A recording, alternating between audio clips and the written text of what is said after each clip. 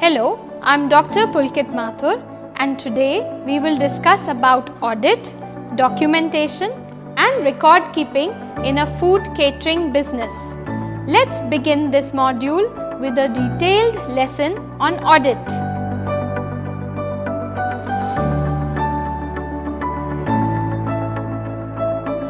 It is now extremely important for the food industry to proactively manage records and information. Organizations use this as an important tool to establish and trace how effectively the required functions and procedures are followed. An effective food safety management system largely depends on the control of documents and records. Here are the basic indicators of a properly controlled document or record. It should be legible or readable. It has been authorized and is relevant to the procedures or functions. It is updated as and when required. And lastly, it is kept at a secured location. Let us now talk about the first step in the process self evaluation and review. Self evaluation is an important tool to assess one's performance, strength, and weaknesses.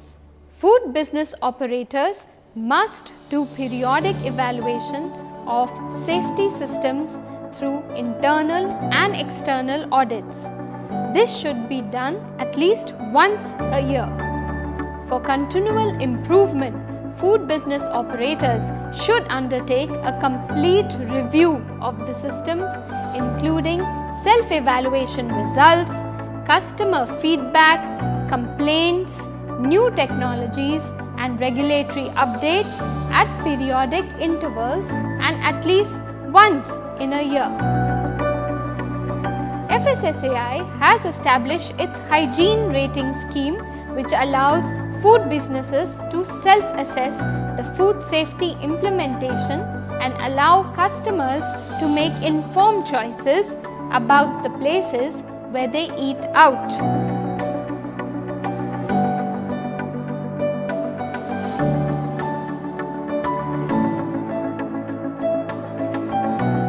Let us now talk about the second aspect of the process documentation and records. Food business operators must follow a systematic method of documentation and record keeping.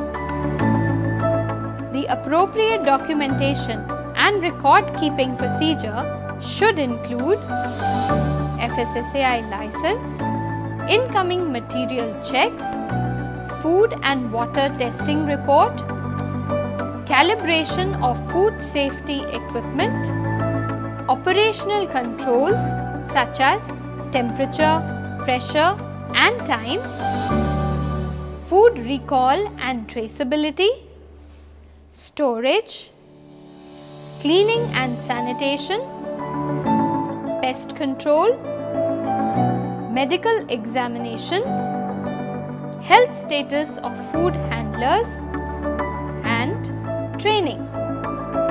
All of this should be maintained in a legible manner. The records should be retained for a period of one year or the shelf life of the product, whichever is more. Any changes to the records should be traceable. For example, errors are identified by a strikeout and followed by initials.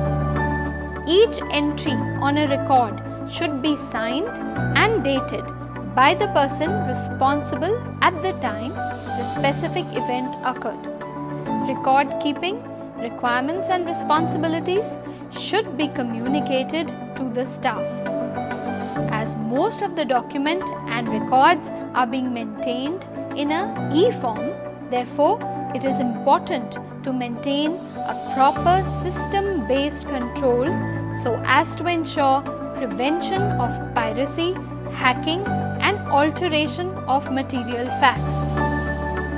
Lastly, it is important to have reliability of all the records as this depends on the correctness of the verification process. Therefore, all verification should be done in detail, done in a time bound manner and should be based on criteria fixed on that record.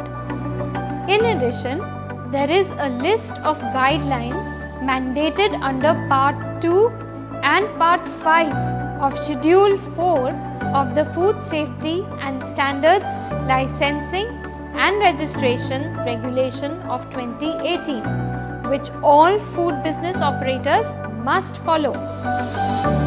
To summarize, this is the correct manner in which a food business operator should maintain a system of proper record keeping and documentation and conduct audit. With that, we come to the end of today's module. Thank you for watching this video.